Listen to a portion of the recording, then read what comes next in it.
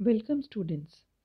Today we'll study MSc Final Chemistry, paper first, photochemistry, energy transfer or photosensitization.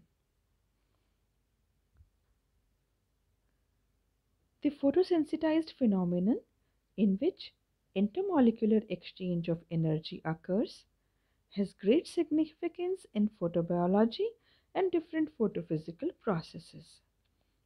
The organic molecules with low intersystem crossing efficiency reacts only via their excited singlet state.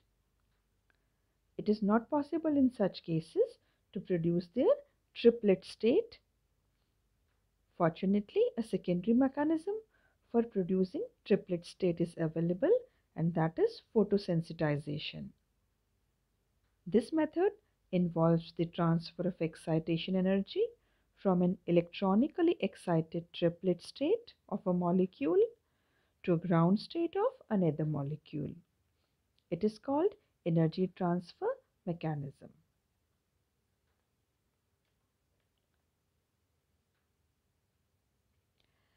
Thus, a molecule in an excited state S1 or T1 transfers its excess energy to another molecule. This process is called photosensitization or energy transfer. The basic requirement for energy transfer is that the donor molecule should have at least 5 kilocalorie per mole more energy than the energy required to excite the acceptor molecule to its lowest excited state. Energy transfer refers to one-step radiationless transfer of excitation energy from an electronically excited molecule donor to the ground state of another molecule acceptor. After energy transfer, the donor molecule returns to the ground state and the acceptor molecule gets excited.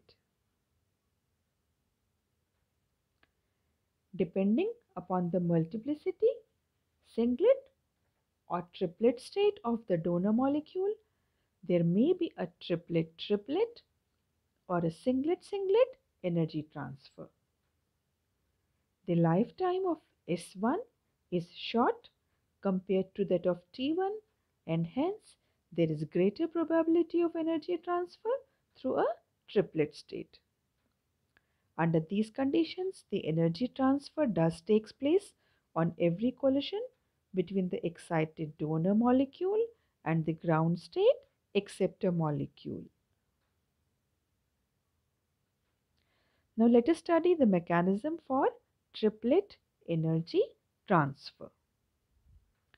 Here light is absorbed by donor D to produce its excited singlet state 1D which undergoes intersystem crossing to produce excited triplet 3D upon collision between 3D and ground state acceptor A, energy transfer occurs to produce excited triplet 3A plus D.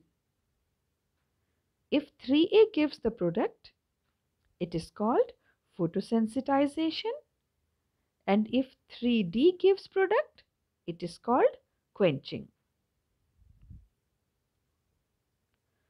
Benzophenone, fluorescein, etc. are the examples of some important photosensitizers used in photochemical reactions.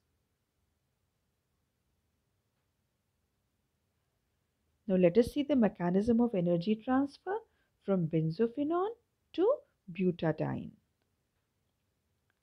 In this example, the light is absorbed by benzophenone while the reaction is taking place with butadiene. Benzophenone is acting as photosensitizer.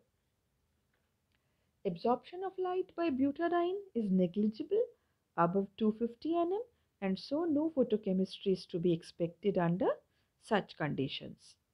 However, when it is mixed with benzophenone and irradiated at 366 nm, a region where benzophenone absorbs light, it gives dimers.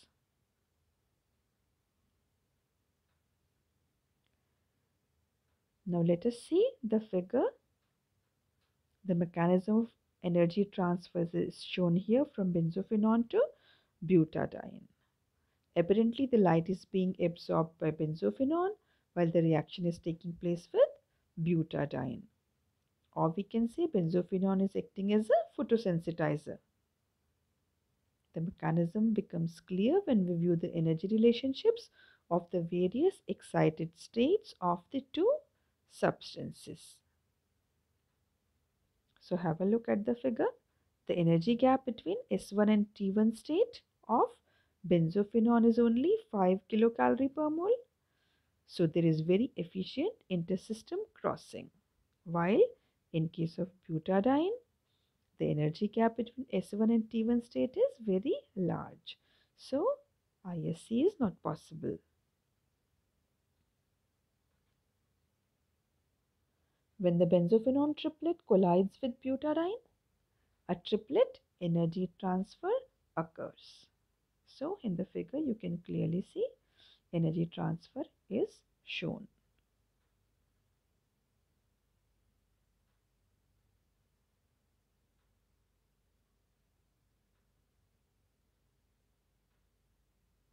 Now let us have a look at the mechanism.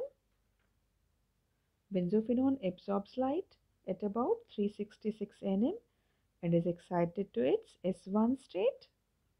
And since the energy gap between S1 and T1 state is only 5 kilocalorie per mole, there is very efficient intersystem crossing which populates the T1 state.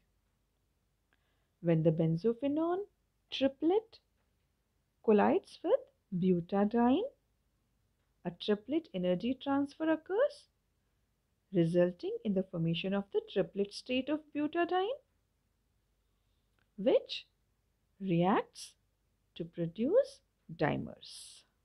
Just see the equation.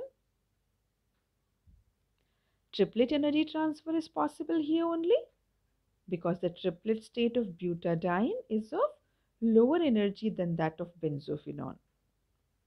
You can see this in the figure. On the other hand, singlet excitation energy of benzophenone is less than that of butadiene. And so singlet energy transfer from benzophenone to butadiene is not possible in the above reaction. So it is always advisable to make the figure first and then study all this step one by one.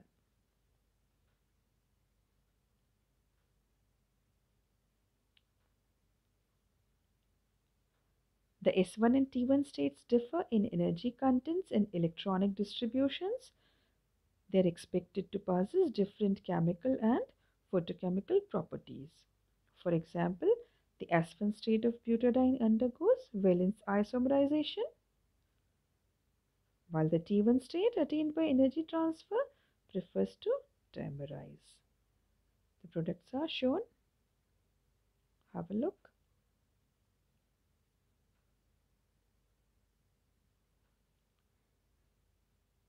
So let us see intramolecular energy transfer. Some substituted aromatic ketones and aldehydes are capable of transferring excitation energy from one part of the molecule to the other.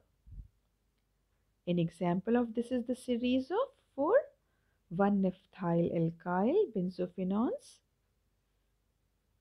See the structure which display two independent absorption bends for the benzophenone and the naphthalene components.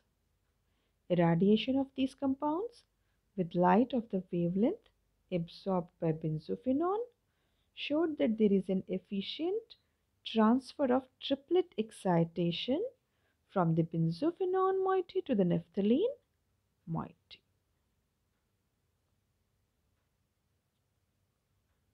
Thank you so much.